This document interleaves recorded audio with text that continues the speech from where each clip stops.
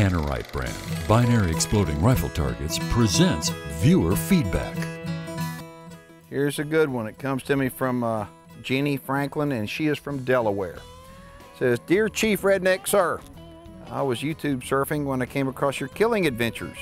I'm not a hunter, but can support hunting when hunters eat what they shoot.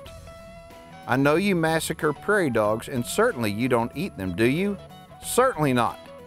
How can you defend your actions? Jenny Franklin, I defend my actions by saying, first off, thank you for taking the time to watch our videos on YouTube and, and also to take the time to write to me. That, that means a lot to me. You deserve an answer, and everybody who writes to us gets an answer.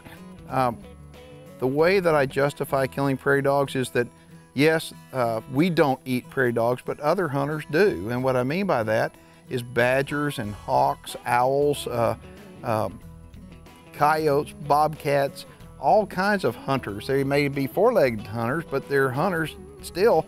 They uh, clean up the mess when we're done. Uh, we're doing the landowners a service and, uh, and it's a lot of fun.